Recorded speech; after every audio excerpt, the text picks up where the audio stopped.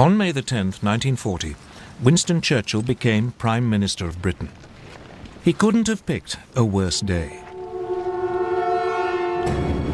That was the day Hitler chose to launch his blitzkrieg against France and Britain. At dawn, a whole German airborne division parachuted into Holland to seize bridges and airfields. Simultaneously, the massive Belgian fortress of Eben-Emael was assaulted. Paratroop engineers were dropped on top by swooping German gliders. They swiftly silenced its guns. Meanwhile, the Luftwaffe attacked Dutch and Belgian air bases. Then the frontier barriers were pushed aside. And Hitler's Army Group B, under General Fedor von Bock, now drove into Holland and Belgium.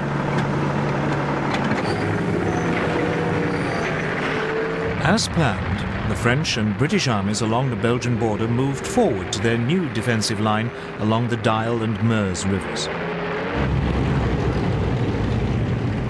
But none of the Allied commanders seemed to have noticed that German Army Group A, which had the bulk of the panzers, after brushing aside the Belgian frontier troops, had now begun driving through the hills and woods of the Ardennes to their south.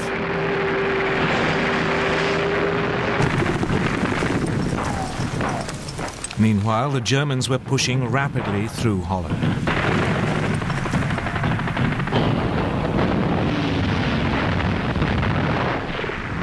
Obsolete Dutch army was no match for the highly tuned German war machine. And it was under continual heavy air attack by the Luftwaffe, which roamed the skies unchallenged. On May the 14th, the Germans demanded the surrender of the port of Rotterdam a large force of bombers took off as the Dutch hesitated. While they were airborne, the Dutch agreed to surrender the city, but apparently a recall message never reached the bombers.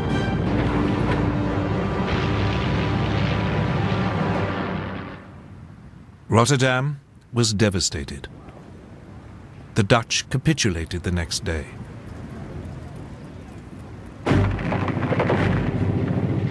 Then came the hammer blow. The thing that British and French planners had thought impossible had happened. German panzers were through the Ardennes and had reached the Meuse by the evening of May the 12th.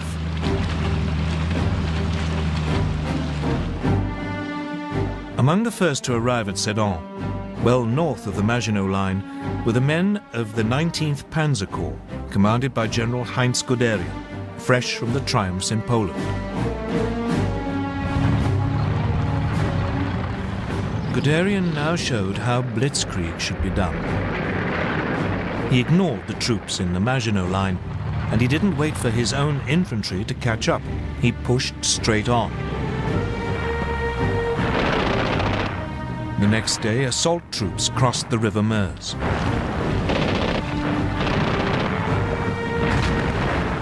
Engineers began building bridges for the armor while under heavy French fire.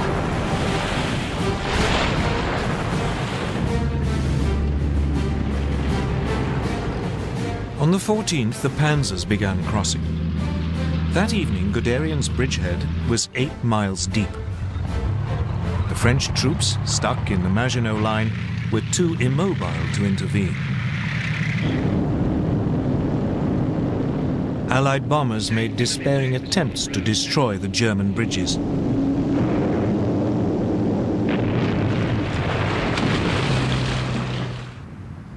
But most were shot down.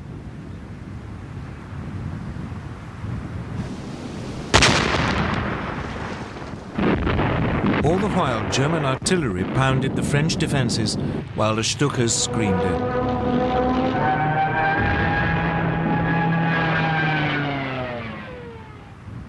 Just three days after the attack had been launched, the French defenders around Sedan broke. Guderian's panzers began racing westwards. By nightfall, they had advanced more than 40 miles behind a northern group of Allied armies. These had been holding firm on the Dyle line, but now the French Supreme Commander, General Gamelin, realized that they were about to be encircled. He ordered them to fall back. This sudden decision to withdraw bewildered the Allied troops, who had no idea what was going on behind them. As they fell back, they were hindered by a growing flood of refugees clogging the roads. That day, the French Prime Minister Paul Reynaud phoned Churchill. He said, We are beaten. We have lost the battle. But for all the brilliance of the Blitzkrieg, the Germans were vulnerable. As the panzers raced westwards, they created an ever longer corridor just a few miles wide. The Allies realized that this was open to counterattack. The bulk of the German army was still totally dependent on horsepower or its own feet for transport, so the gap between the rampaging panzers and the follow-up infantry grew with every hour.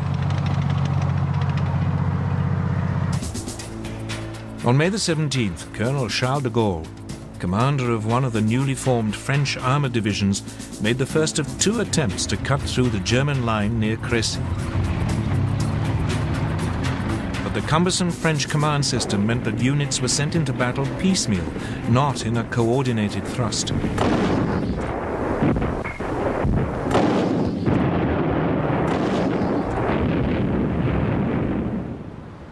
The Germans had little difficulty warding off both attacks, inflicting heavy casualties.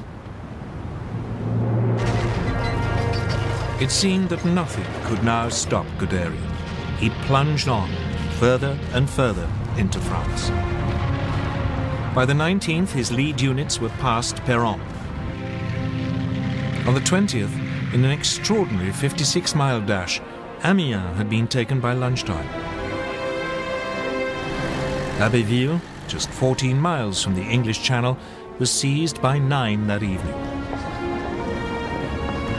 And at midnight, a battalion of the 2nd Panzer Division reached the coast at Noyelles. The Germans had split the Allied front in two. Everything now depended on whether they could defend this long, thin corridor or whether the Allies could successfully counterattack.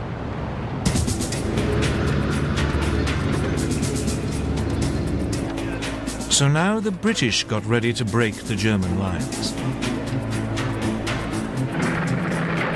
On May the 21st, two armoured battalions prepared to launch an attack south of Arras.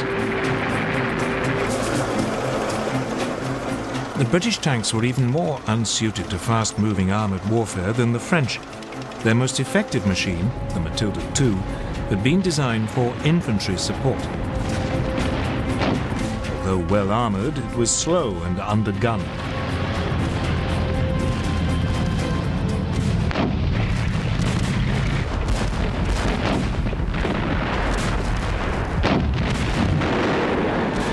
The Germans had little trouble in repulsing the attack. But it did have an effect. By now, the German High Command were becoming worried by their extended lines of communication.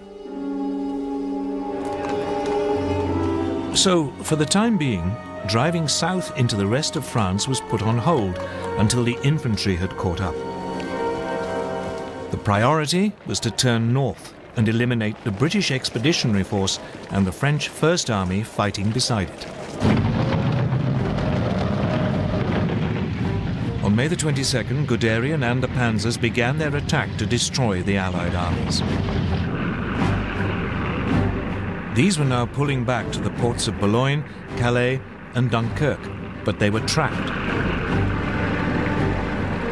On May the 23rd, General Alan Brooke, commander of British II Corps, wrote, Nothing but a miracle can save the British Expeditionary Force. Two days later, the Germans seized Boulogne.